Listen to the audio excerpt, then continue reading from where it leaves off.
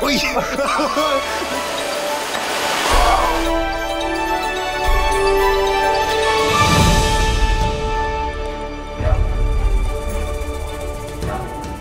Ja, da er vi eh, i gang igjen. Nå, eh, nå er det tre dager siden vi sto her sist. Så nå er vi her eh, i Tovdalen. eh, her i Dale heter det. Så nå skal vi gå opp til Rjukanfossen. Bråke litt, for eh, Tovdalselva er rimelig svær. Simon han er her og fyller litt vann i flaska. Det er viktig å ha mye vann i kroppen. Det er fortsatt veldig varmt, men heldigvis så blåser det en god del i dag, så det er fint. Det er perfekt gåtemperatur, men vi skal jo ikke gå noe langt i dag. Vi skal bare gå ja, Det er vel tre kilometer opp til Rukan. Rjukan. Det er det, vet du. Ja, så det er rundt tre kilometer i dag, men klokka er jo allerede sånn seks-halv sju på kvelden, så eh, vi har dratt opp rett etter skolen for å gjøre denne etappen. Og eh, det skal bli godt med å komme oss opp nå. Veldig fint område vi skal inn i denne gangen. Årdalen, jeg gleder meg. Jeg har aldri vært her. Jeg har vært oppe på Rjukanfossen før, men ikke inne i Årdalen. De sier det skal være veldig fint her og bra fiske, så det blir skikkelig gøy. Så eh, nå i starten av turen er alltid sekkene litt tunge, men eh, nå har vi jo med mye mat. Så vi spiser den fort opp, og da blir det fort lettere. I morgen er det 17. mai, så vi har med flagg. Vi skal feire på fjellet. Det blir fint. Aldri feira på fjellet før, så det er en ny opplevelse. Jeg gleder meg. Nå må vi komme i gang litt. Komme oss oppover for det blir for mørkt.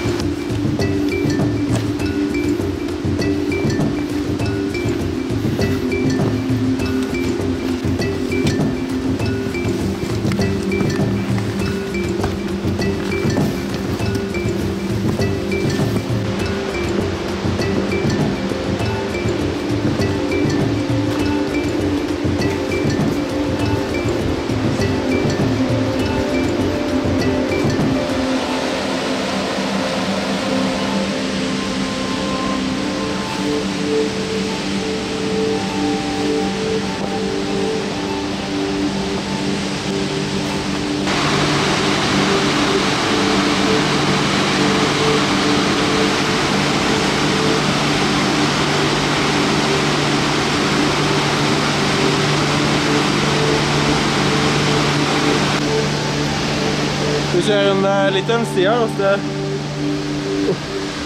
skikkelig steinete.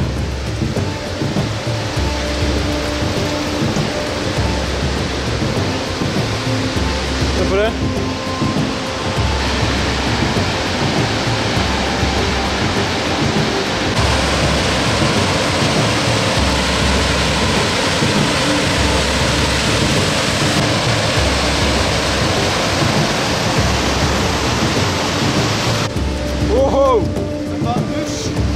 Litt søre, da.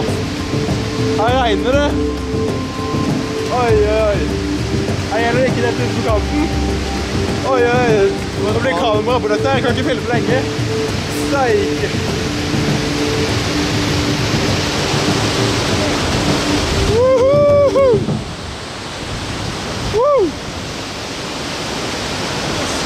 Herlig, ass. Woo!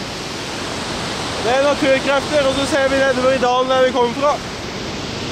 Steike, altså. Så bare å gå rett gjennom her.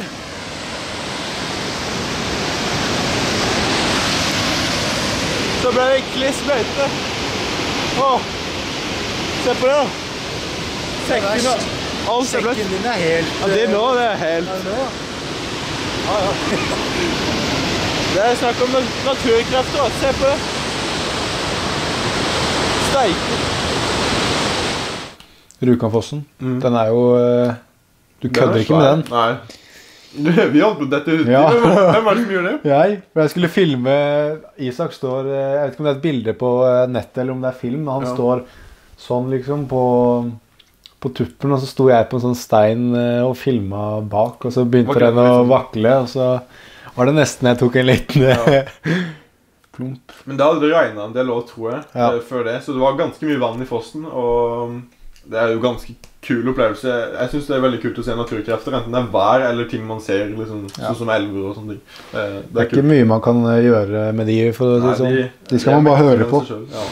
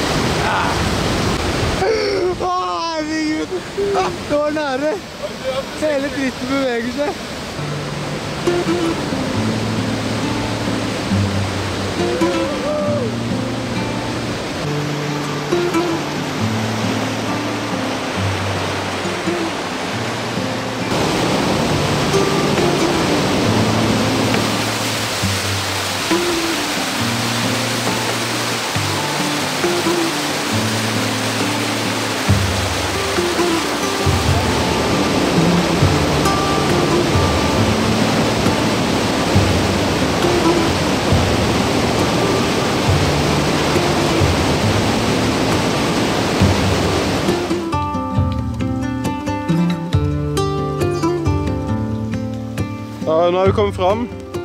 Vi har stoppa her eh, etter gått en time eller to. Så har vi funnet en veldig fin læreplass her på Nodde ved Tovdalselva. Og mesterkokken Simon eh, er her nede og lager eh, bacon til middag. Ekstra snacks. Det er 17. mai-bacon. Egentlig 16. mai-bacon. Vi feirer 17. mai en dag før, bare for å spise opp litt eh, godis, eh, så vi slipper å drasse på det i morgen. Så jeg har tatt med sånn eh, chips, og så har jeg med dip, eh, guacamole, så det skal bli digg. Nå er teltet oppe, så jeg skal bare ta inn sovepose og liggeunderlag, så tror jeg vi begynner å komme på plass her.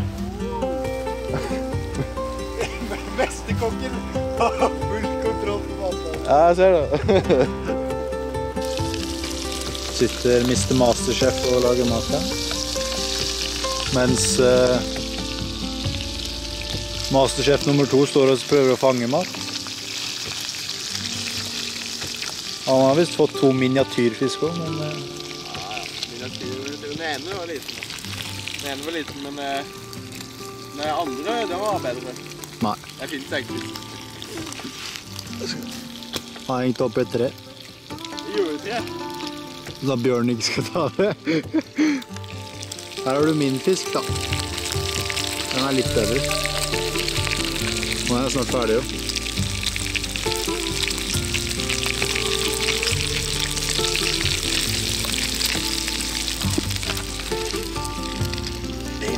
Lata du som at du fikk napp igjen? Ja,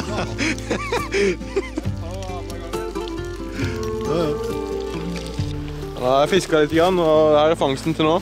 En megaørreter. Den ene kilos. Og den andre er enda større. Se på den. Ja, det er halvannen eh, opp mot to. Har du klikka på det? Nei. Hvor nærme måtte du filme dem for at det skulle se ut som at det var lenger enn 5 centimeter? Det er et lite tre, vet du. Du ser Det er derfor jeg valgte det treet, fordi det er lite. Ja, ja, ja. det... Nei, nei, det var ikke lite tre. Det er en svær fugle. Jeg liker en som henger i toppen som en slags flagg. Ja, ja. Det passer på oss i natt. Ørreten. Passer på oss for bjørn og gauper. Men jeg har faktisk flagg her, da. ser du. Norgeflagg. I morgen er det 17. mai. Egentlig i dag. Ja, i morgen. Nei, det er egentlig i morgen, men vi feirer i dag. Vi skal synge og gå i toget i morgen? Ja, det er i morgen. 17. mai i morgen. Så da tar vi litt dipp, tror jeg. Og vi skal spise guacamole med Hjemmelagd chips. Hjemmelagd Ja, ja. Jeg, jeg lagde dem og så bare putta oppi sånn pose og så bare limte jeg igjen her oppe. Mm. Men uh, du ser at de er ekstra gode med dipp. De har uh, Dipp. Grønn gugge. Det fungerer som dipp, men eh, det er litt sterkt, så jeg tipper Simon må gjøre det mot to ganske snart. Så det blir fint. Det var derfor jeg tok det, da, så jeg Ja, kan ha det meste sjøl. Liksom. Hva hvis jeg har begynt å ta piller mot sånt, da? Pille mot sterk mat. Ja. Pille mot mat. Nei, da Må jeg finne på noe nytt. Ja.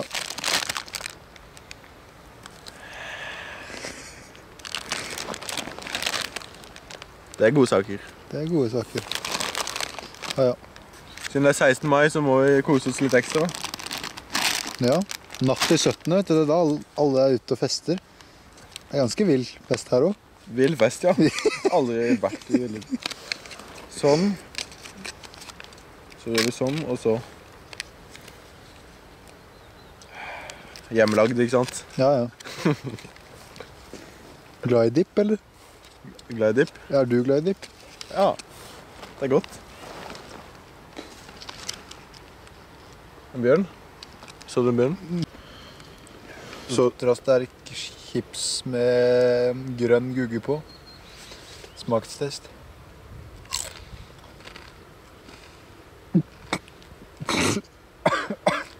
Veldig tørt.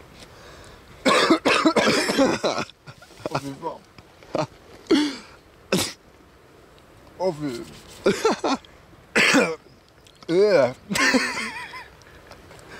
Det er dritgod. Jeg skal ha vann. Det var akkurat det jeg hadde håpa på. Da blir det hele for meg sjøl. Er vi tom på vann nå, vet du.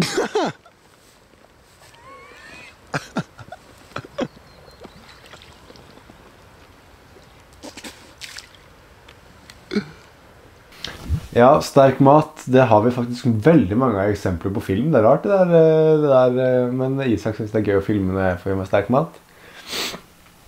Fordi eh, jeg er norsk sånn skikkelig akkurat når det kommer på det der spicy mat. Fordi at jeg blir så dårlig i magen av det. At da må jeg på do opptil flere ganger. Og vi spiser jo real turmat. Og det finnes noen skikkelig spicy. Den eh, kylling i karri er ganske heftig, og tikka masala den har jeg aldri spist. da, Men eh, chili con carne går akkurat. Her kan vi hente den.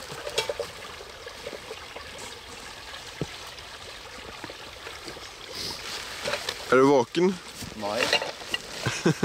Det er jeg ikke. Men noen ganger må man stå opp litt før man føler for det. Ja. Det er langt å gå. Men nå skal vi ta en rolig og deilig frokost. Eh, Gratulerer med dagen, forresten. Takk det samme. 17. mai. Ja. Fint vær. Ja. Herlig. Jeg har faktisk eh, fanga en fin ørret òg om morgenen. Så jeg tok filetene av den og la det i pose. Så vi får fiskesuppe eller et eller annet sånn stekt ørret eller noe til middag i dag. Så det blir deilig. Jeg skal ta en på kiloen etterpå. så vi får litt Ja. Har vi pakka opp leiren her. Da vaker det. Nei. Jo, det vaker. Ja. ja men eh, Nei, nei, jeg ikke. Eh, når vi pakker opp leiren, så skal vi prøve å forflytte oss et stykke. Det er ganske langt å gå i dag. Så eh, det er vel rundt to mil. Ja, vi skal til en turistforening-hytte. Hva heter den igjen? Den heter Gran... Granbus. Ja, Granbustøyl. Ja. Så da skal vi møte pappa. Han skal bli, med oss litt. Grann. Ikke lenge, da, men en stund. Det spørs om vi kommer oss opp dit eller ikke. Ja, det er et stykke å gå. Så vi skal følge denne elva her. Tovdalselva. Um, et godt stykke, og så skal vi skjære inn i terrenget og gå opp i heia på, mot den hytta. da. Så det blir en ganske lang dag foran oss. Så det er bare å komme i gang. Jeg tror jeg går med fiskestanga litt eh, langs her, for det er bra fiske. Oi, oi. Det er kilos på. Isak er tilbake med sildfiskinga si her.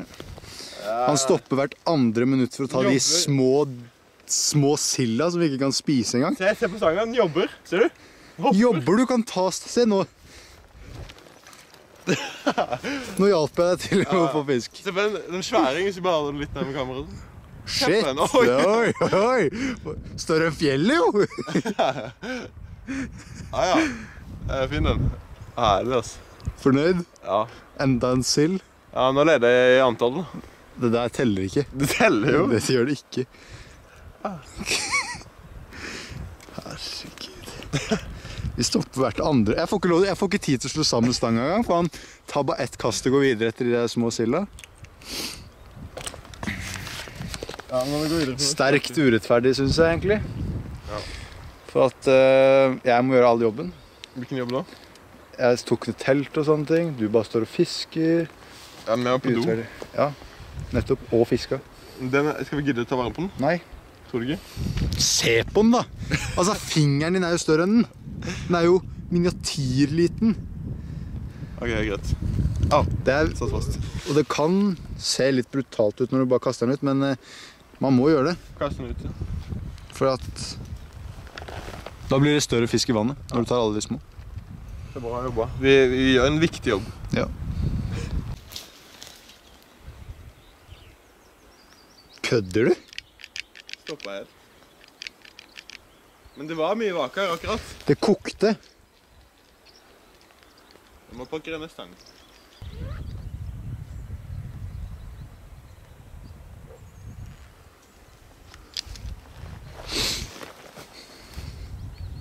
Gratulerer med dagen. Du ser, her var det skikkelig fint. Nå går vi forbi noen svære myrer. Se på det. Det er litt motlys nå.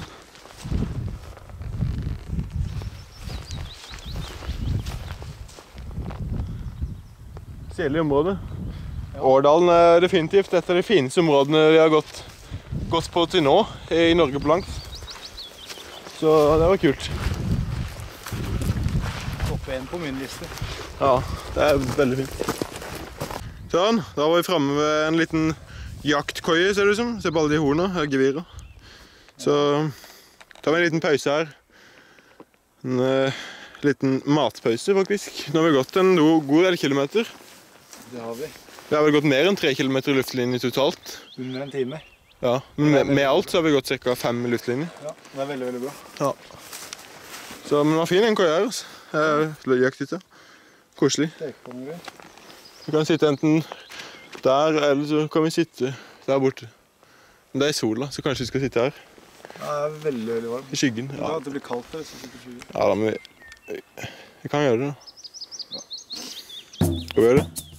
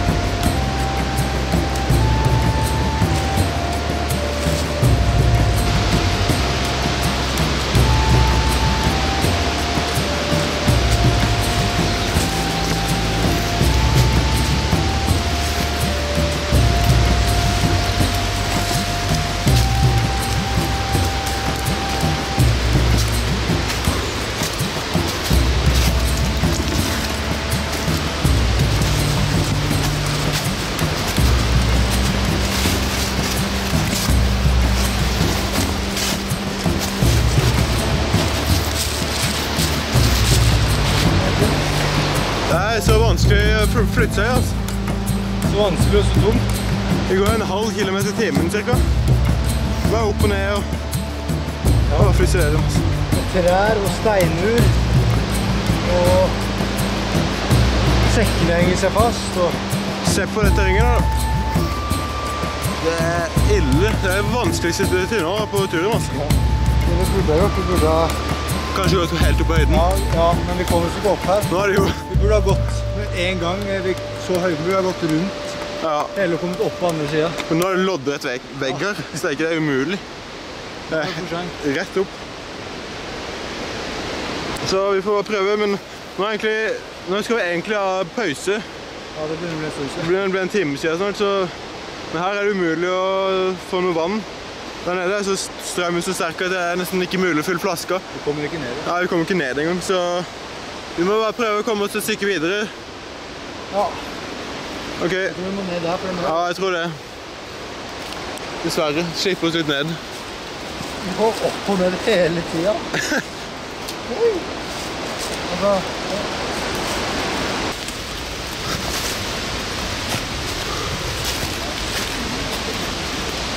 Det var like vanskelig å få her. Da må vi opp igjen. Ja. for å komme seg forbi en lite hinder, så må man ned og opp. Det er ikke mulig.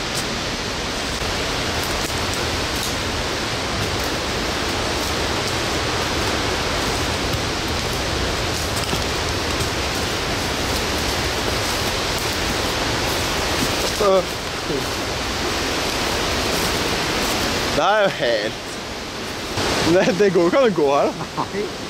Nå blir det bare vanskeligere og vanskeligere. For det er helt tett her. Og så kom Vi har gått oss fast nesten, vet du. Det begynner å roe seg der oppe. Med stryk. Ja. Vi skal møte på en sti. Men hvis ikke vi kommer oss langt, så har vi et svært problem. Må vi gå langt tilbake. Fordi Forhåpentligvis så kommer et vann der oppe som vi skal møte på, så stien. Forhåpentligvis kommer vi oss rundt her. Hvis ikke så kommer vi oss ikke opp der. Da må vi gå sånn tre kilometer tilbake. Og i det her terrenget så tar tre kilometer ja, to-tre timer. Så det det blir spennende å se om vi kommer fram i dag. Vi skal til Grandestøl, så det kan ta lang tid. Problemet bare baller på seg. Ja, anklene mine hovner opp. Ja, så det er derfor Så eh, kan det være vi må avslutte turen pga. Oppdage et flott flåttbitt. Så vi har ikke antibiotika, men det får vi se på når vi kommer fram. Ehm, nei, nå skal vi prøve å komme oss fram først, så vi får konsentrere oss om det her problemet først.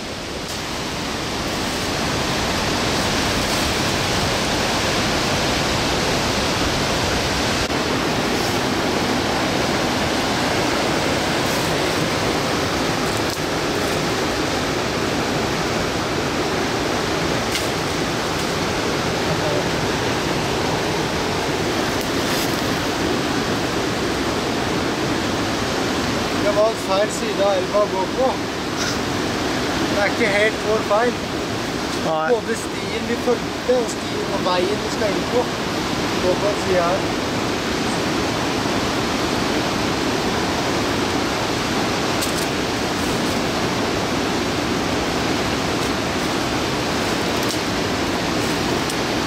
I Årdalen så var det jo utrolig krevende. Det er kan, Ja. kanskje ja, Jeg vil si at det er det mest krevende til nå. Men eh, det har jo litt å si med navigeringa òg, da. Det var litt Ja, det dårlig Altså, vi ville jo gå i Årdal naturreservat, for det var jo veldig fint. Ja.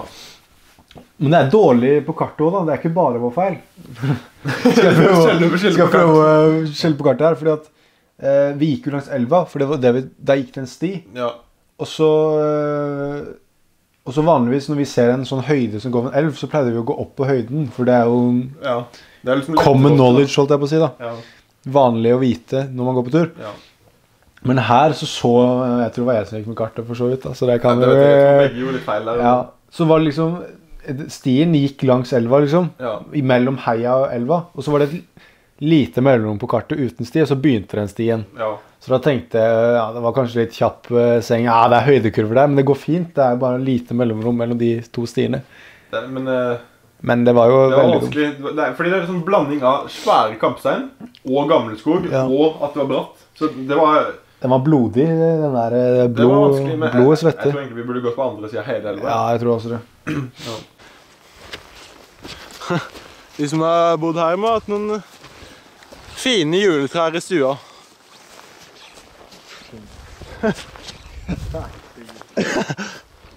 Se på det. Midt i stua. Det er sikkert 100 år siden noen har bodd her. Mer. Den var rimelig god om. Den var fin, da. Lafta. Ja, det er en kunst.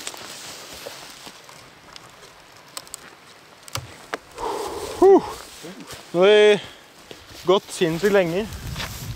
Det har gått snart i åtte timer, åtte-ni timer. Så ca. én kilometer til vi kommer inn på turiststien. Så det blir veldig deilig. Ja, da har vi endelig kommet oss inn på en sti her, Turistforeninga. Så nå kan vi feire at vi har kommet inn på denne stien og nærmere oss hytta. Og ikke minst at det er Norges nasjonaldag. Vi feirer 17. mai.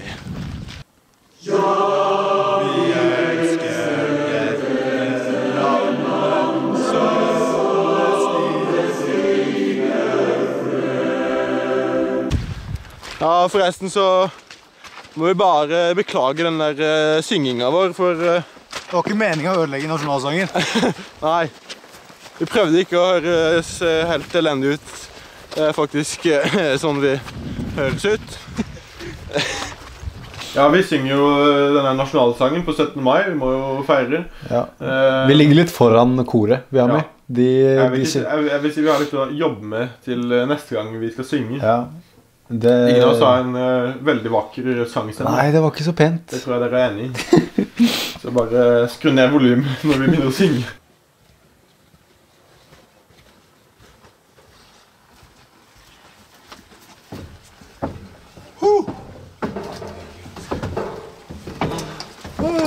Det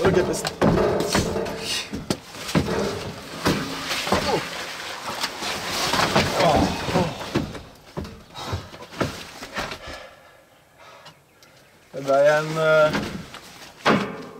Nesten en uh, titimersøkt. Er det det, ja? Igjen? Vi har en tendens til at det øktene blir litt lenger enn det vi planlegger. Ja, det er alltid sånn. Nå, nå har vi kommet oss ganske langt nord, så det er bra jobba. Men klokka er ikke så mye, da. Nei, det er bra. Det er sol ennå. Jeg skal skoa skal av med. Skoa Åh, det blir deilig. Ah, jeg har faktisk båret med leirsko. Og de skal på. Nå skal vi gå barbent ut først. Jeg klarer ikke å få opp til lutningen. jeg vet. Åh, jeg må ta av skoa. Ja, men shorts, faktisk. Den skal skifte nå. Den bu- buksa er jo klaskelig. Se på det her, da. det går jo sånn halv centimeter inn i huden. Det er ikke helt bra, ass. Dette skal ha nye sokker i morgen. Litt tjukkere. Skikkelig blemmedings. Ja, jeg vet ikke hva det er, egentlig. Det er sikkert godt med litt fuktige sokker og sånn. Mm. Dag 11. Nei, jo, dag 11. På turen. Ja. Det er det første gang vi går forbi nå, er det ikke det? Jo, tror det. Men jeg må si den stien vi følte nå på slutten var ikke noe å skryte av. Nei, det var ikke helt optimal. Men jeg tror den blir bedre etter hvert. Kanskje ikke den aller mest populære hytta, selv om det er veldig fint her. Altså. Litt bortgjemt.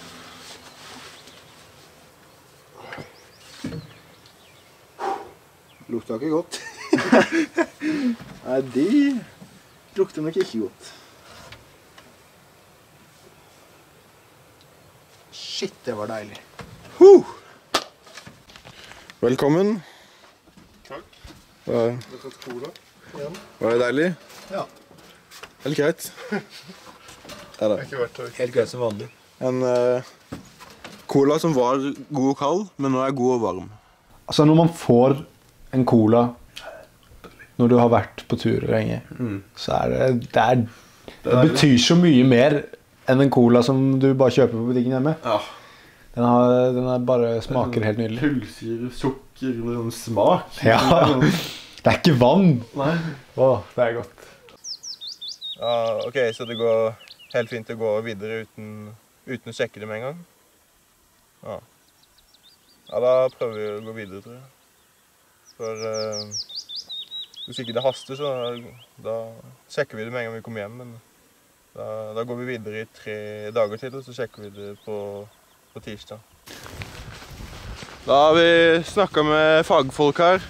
En eh, lege, eller en ekspert på eh, flått og borreliose og sånne ting. Så han sa det at eh, det gikk helt fint for meg å gå noen dager til. Til jeg kommer fram. Og så sjekke det når jeg kommer hjem. Så da gjør jeg det. Da går vi på noen dager til, og så sjekker jeg det når jeg kommer hjem. Det er flott flåttebiter.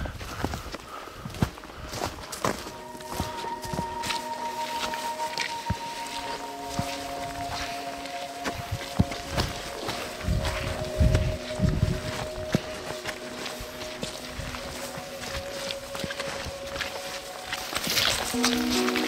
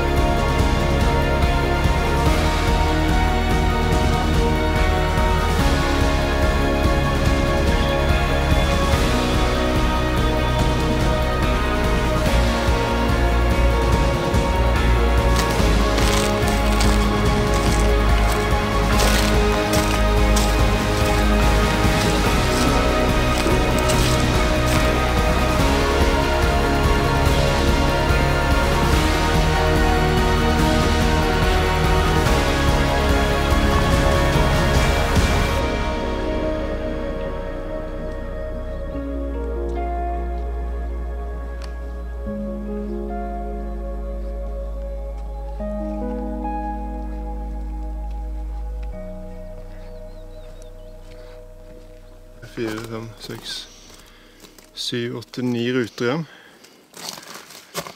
Jeg, jeg krysser der nå. Hæ? Åtte og en halv rute dit. Ja. Og klokka er fire. Det er over en mil igjen. I går òg. Tenker alle rundt en mil. Ja, men det, Tre timer. det høres bra ut.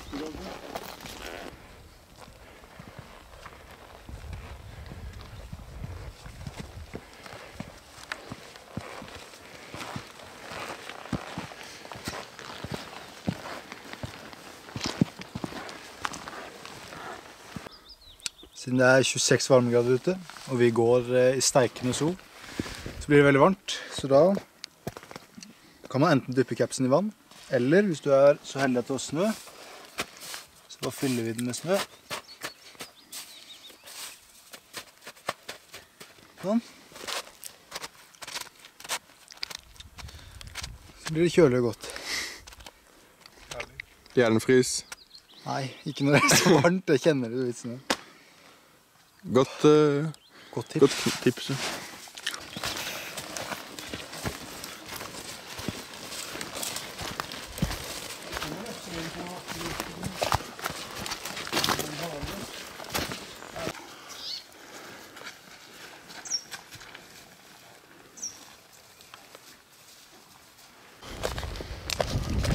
Og der ser vi hytta. Turistforeningshytte. Uh, har var det vel? Ja, Endelig. endelig. Vi rakk fram. Er det lang dag. Nå er klokka åtte cirka. Den ser fin ut, den. Her er det fint vann med fin fisk. Og så se på den utsikten her. Bare Fjellet med snø på.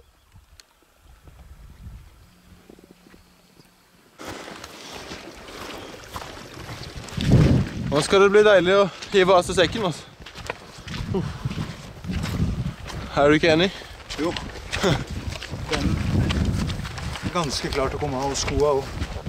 Ser ut som vi er alene her på hytta. Vi skal ikke sove på den, men kan jo sitte litt på hytta.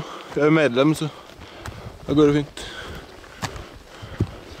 Har vi gått sånn to mil i dag, sikkert. Ny støl, så er det skilt her. Åtte kilometer. Dit skal vi cirka i morgen. En litt kortere etappe. Nutevasshytta. Nå skal det bli digg å løfte skoene. Eller ta Ikke løfte skoene. Løfte, Det er skoene som er problemet. løfte føttene. Skal du filme i føttene? Det gjør vi. Det er vanlig. De ser det ganske kan man ikke lukte gjennom film. Det ser ikke så galt ut. Nei, ikke i dag, for jeg har på tjukke sokker i dag. Hva sa du da? At det er bedre med tjukke Ja. enn tynne? ja, for det gjør så mye mer vondt når du er på tynne. Gnager du sånn? Ja, så blir det mer banka, for det, de er litt store sko. Så i går så hadde jeg på tynne. Ja. Da har vi gjøken her òg. Gjøken ønsker oss velkommen i dag. Ja. Da har vi fått spist. Er du mett? ja. Bra. Alternativ middag i dag. Potetmos og greier. Potetmos, nudler og grønnsakssuppe. Det er ikke dårlig. Det er ikke dårlig. Det er andre saker. Nå er klokka sånn eh, ti. Skal vi ta pusse tennene? Ja. Så går vi og legger oss i teltet. Se på den utsikten, da. Steik.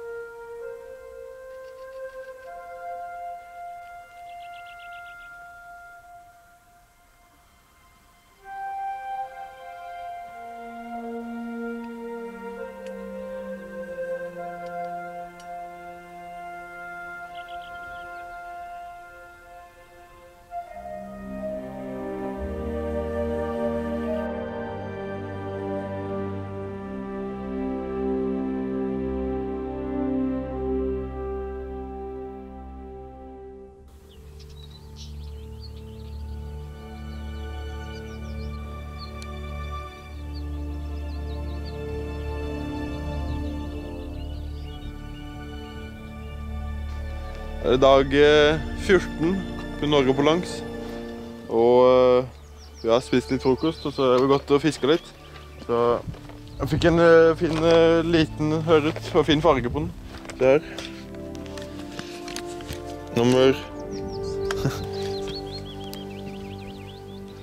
Er fisken over 10 gram, så er den fin. Vise ord fra Egersund.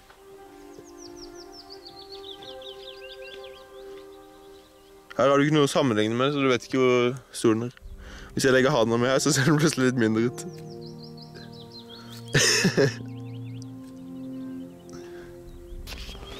ja, men det var nummer 11 på turen til nå. Den her.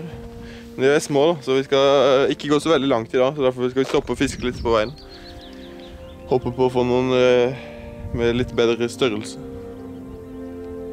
Jeg vaker litt på det vannet bak meg i dag, men eh, det har ikke, jeg har ikke fått noe i det vannet. Vi fiska i et vann som lå lenger den veien.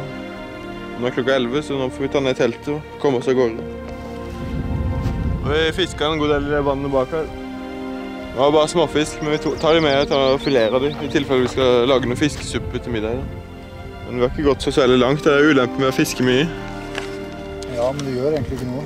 Vi har god tid. Ja, vi har Men vi har gått én kilometer på langt? Tettet på Når begynte vi å gå? Klokka var det ikke rundt 11? Ja, og nå er klokka ti over halv ett. Ja. Én kilometer på eh, To, to timer to timer. ja. Nærmere det.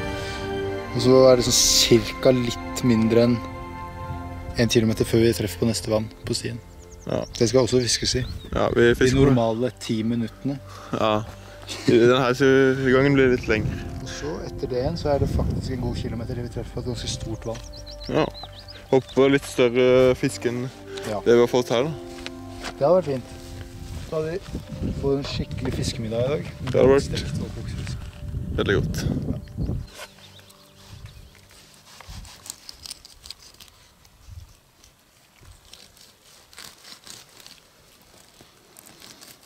fisk. Veldig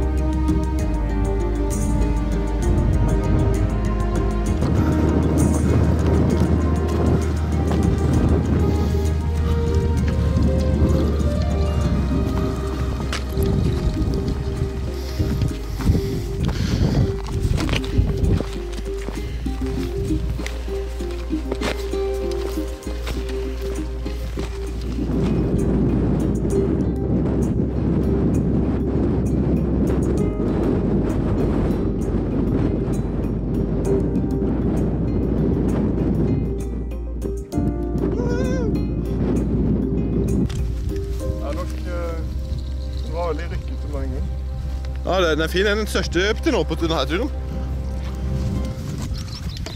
Den er fin, den. Første så. Første kast i vannet. Hovvannet. Det er i hvert fall spiselig. Jeg har akkurat kommet til lunsjstopp ved Hovashytta.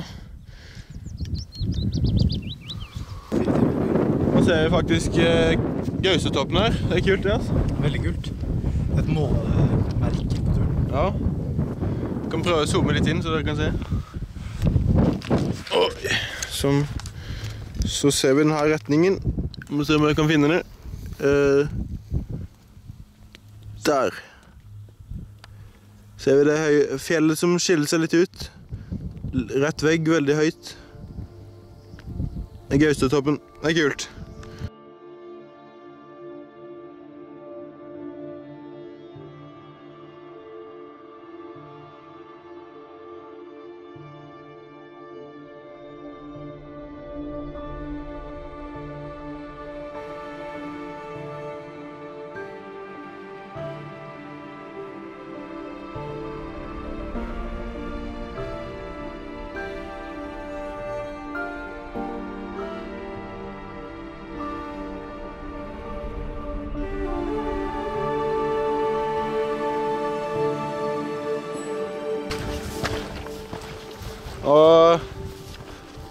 Har ankelen min eh, hovna opp skikkelig, og det er ganske vondt å gå på nå. altså. Men heldigvis så kan vi se hytta, eller eh, ja, den er Nystøl. Ja, det er Nystøl. Men vi skal sove i nærheten av i natt, så det er ikke langt igjen. Bare opp bakken her. Men i morgen må nok, eh, må nok ta på en støttebandasje. Nå må jeg halte for å komme meg videre her.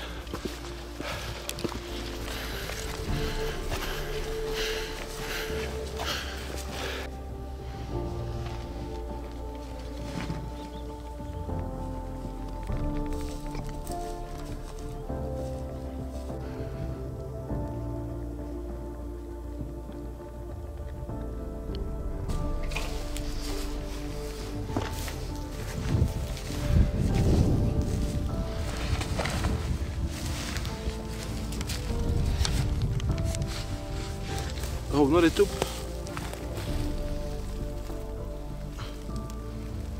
Den vokser nok nå. Får sitte med beinet litt høyt.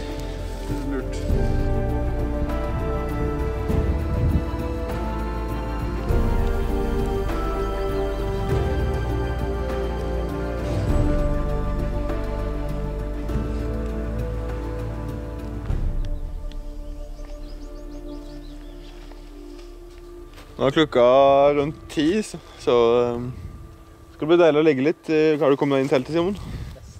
Nesten. Se Men du bare, du bare stoppa meg mens jeg kjefta på deg. du. Ja. Ja, litt sånn, Ankelen er ikke helt god ennå, men Hvorfor løper du på joggesko? jeg løp ikke. Jeg gikk litt eh, bra tempo. Så um, må ta det litt rolig. Tok en sånn Voltaren i dag. Så får vi se om jeg må ta en i morgen for å komme ned. Men eh, å se på det lyset her, da. Fjellene er fine nå.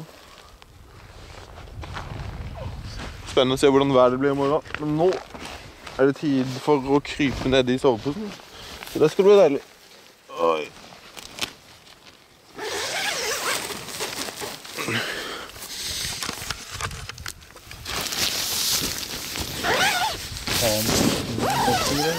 Oi, der er Simon. da. får får lov til å se hvordan det er på innsiden. Ja, her er det nye Norge på langsteltet vårt. Det er Tomanns, så det er grei. Grei plass. grei plass. God nok. Har du vist i forteltet? Forteltet? Ja, det Ja.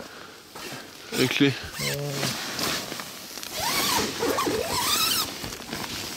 Sånn plass. Ganske god plass. Kan ha sekken her hvis det trengs. Men nå er det fint vær ute. Det er veldig kaldt, da. Ja, det er kaldt. Det er ofte sånn når det er fint vær, så er det kaldt på natta og varmt på dagen.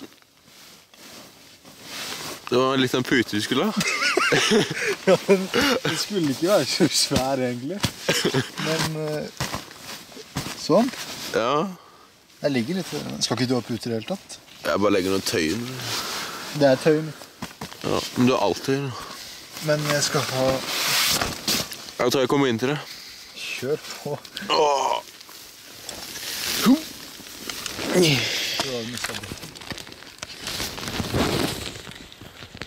Er det fokus? Der er det fokus. Fokus.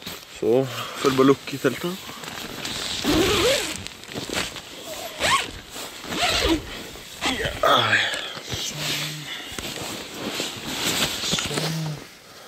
Shalabais.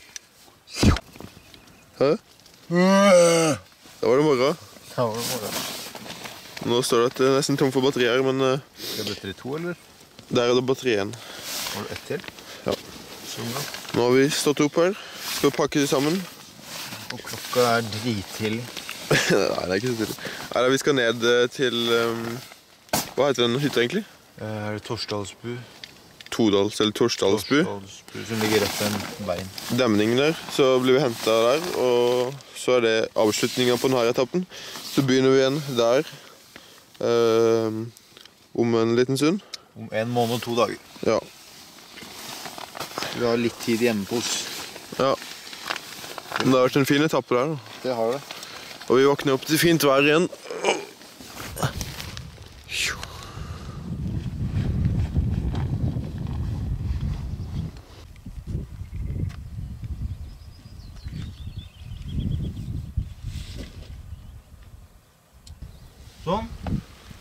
Da er den på.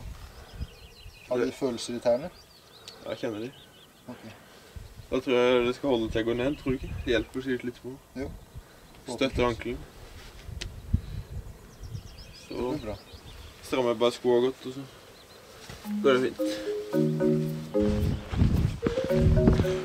Fint å starte dagen med en sånn utsikt. I dag har Simon litt tyngre sekk enn meg. Han tar teltet. Bra jobba. Den er vel ca. like tung som når du begy- du begynte turen. Ja. Da veide jo maten noen fire kilo.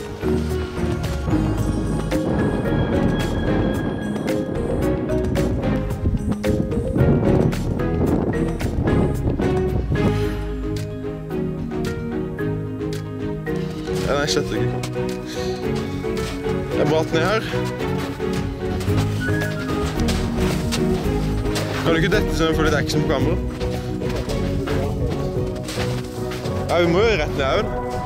Ja, det er sant. Du- det- det- Jeg kan gi deg et puff. Skal vi rett ned? Vi skal ned der.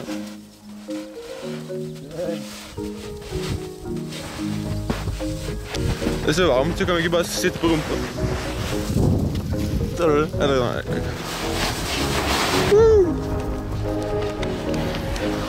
Oi, oi, oi, oi. Oi, oi, oi. Oi, oi, oi.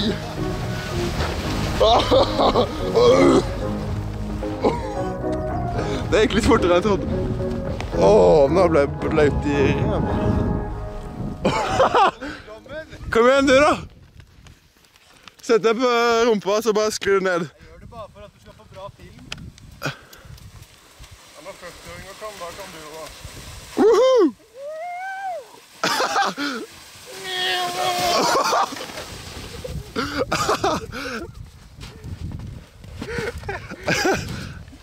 Mye snø? Det var det. Svær flekk. Det var lyst nå. Ja, blir du snøblind? eller? Skal vi bare ned eh, Ja. Det er vel den 300 meter nesten. Ja. Ned i dalen her nede. Ned til demningen. Det er en sånn svær demning eh, rett før dalen. Og der skal vi bli henta. Jeg ser ingenting.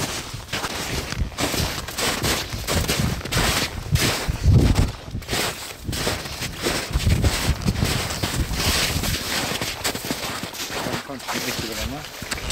Koselig, vet du. Filmer du? Ja. Oi. Ja, ja. Jeg gidder ikke å ta så mye nå, da, for vi skal ikke gå så langt. Det hadde vært fint å ha den litt tørr, men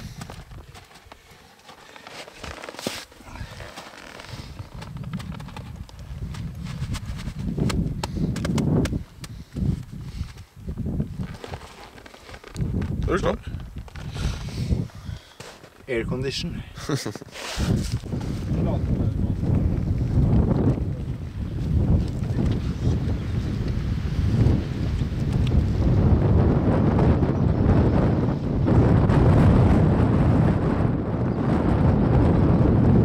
Nå er vi nærmer nå ser vi demningen her.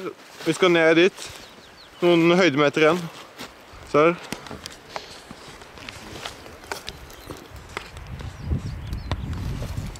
Den er svær.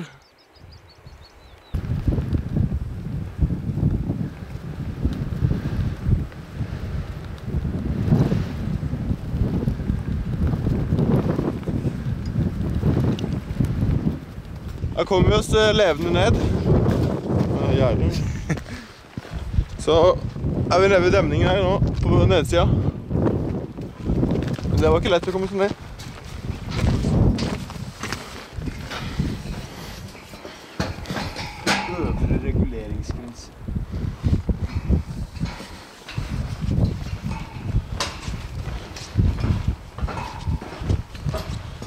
var den her etappen over.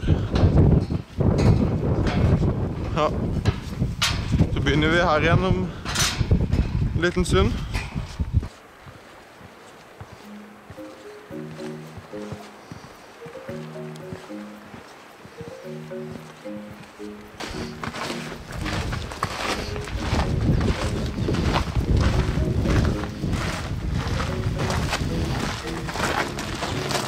glemte det på morgenen. Så da gjør vi det nå. Men ikke stå opp så tidlig. Ja. Da var det lite tid. Vi er effektive. Gjør det mens vi går. Hvis du går på trynet nå, så svelger vi helt andre.